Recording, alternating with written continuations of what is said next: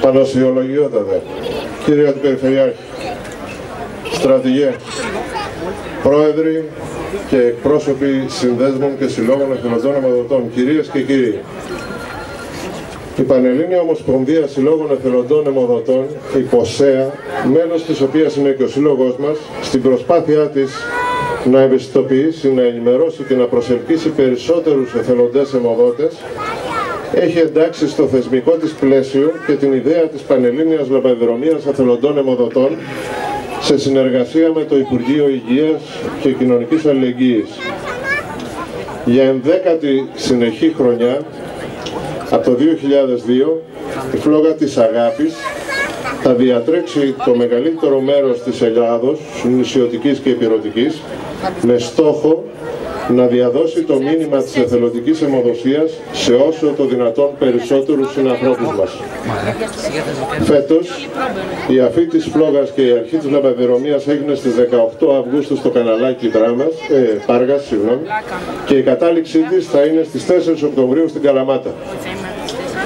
Ο Σύλλογος Εθελοντών Αιμοδοτών Δωρητών Οργάνων Σώματος Καβάρα Στέλλα Μανόλα Κούρτιν αγκάλιασε από την πρώτη στιγμή αυτή την ιδέα γιατί είδε ότι μέσα από αυτή μπορούμε να προβάλλουμε το μήνυμα της αγάπης, της προσφοράς, της κοινωνικής αλληλεγγύης και της ευαισθησίας που πρέπει να διαθέτουμε προς τον πάσχοντα συνάνθρωπό μας ένα μήνυμα που είναι ιδιαίτερα επίκαιρο στους χαλεπούς καιρούς που ζούμε. Όπως ίσως γνωρίζετε, οι τακτικοί εθελοντές αιμοδότες καλύπτουν αυτή τη στιγμή το 42% περίπου των αναγκών σε αίμα της χώρας μας. Ένα ποσοστό που πρέπει να το αυξήσουμε για να φτάσουμε το συνταμότερο δυνατόν σε επάρκεια ασφαλούς εθελοντικά προσφερόμενου αίματος. Αυτό θα το πετύχουμε όταν συνειδητοποιήσουμε ότι σήμερα, τώρα, αυτή τη στιγμή και όχι αύριο, το αίμα μπορεί να είναι ζήτημα ζωής ή θαγνάτου για κάποιον συνάνθρωπό μας. Και ότι τελικά η εθελοντική αιμοδοσία είναι κατάθεση καρδιάς.